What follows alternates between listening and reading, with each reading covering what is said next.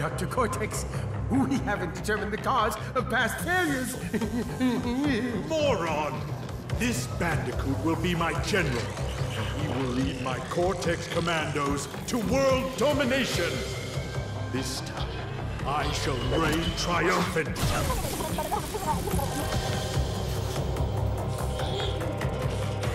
We are closer than ever before.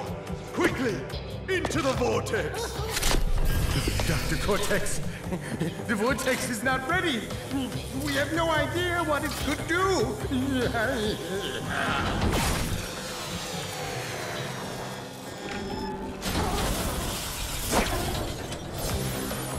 Failure again. Capture him!